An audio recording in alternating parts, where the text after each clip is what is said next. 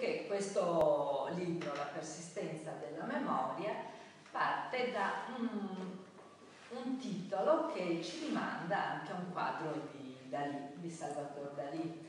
Forse tutti voi avete presente gli orologi che si fondono no? attraverso il tempo.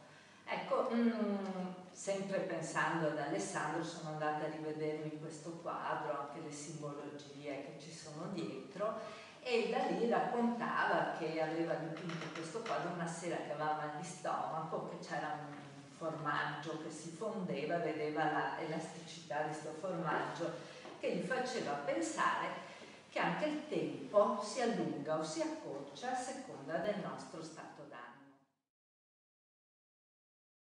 Questo libro di Alessandro è un viaggio, come giustamente diceva prima, un viaggio che parte da, dallo scavo interiore. Perché?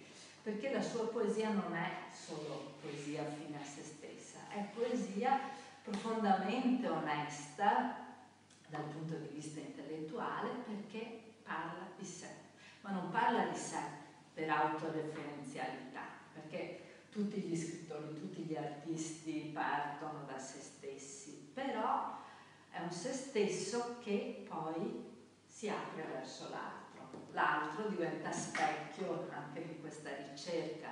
Quindi mh, mm, Alessandro, e dopo sentirete i testi che leggerà Martina e comprenderete meglio anche la sua modalità di scrittura, eh, va sempre incontro all'altro. L'altro lo rivela a se stesso quindi questo viaggio nella poesia, nella scrittura è anche l'incontro con l'altro e, e, questo mette in movimento tantissime cose, no? perché solo attraverso lo scambio, attraverso il dialogo possiamo sperare di ottenere qualcosa di significativo, altrimenti siamo persone che parlano monologano con se stessi, no? che sono tutte avviticchiate al loro narcisismo. Invece l'altro ci rivela. E quello che è bello anche di questo libro è che è scaturito anche dalla storia di un ragazzo, di un adolescente afgano eh, che è finito sotto le ruote di un tir alla periferia di Mestre, Campalto, di Campalto.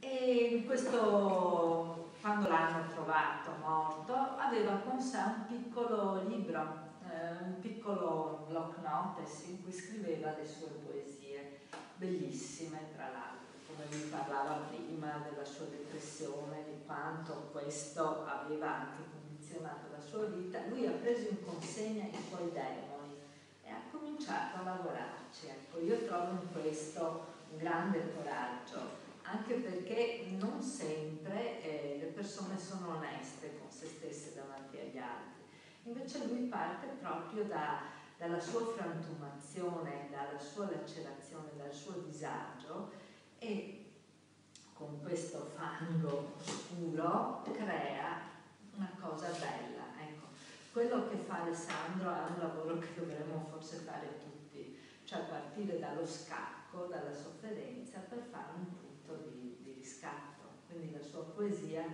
riesce a dare bellezza e respiro anche a cose tristi come la morte per acqua di molti profughi e molte altre cose, perché solo prendendo in consegna anche gli aspetti più dolorosi dell'esistenza possiamo venirne fuori, non facendo finta di non vedere niente.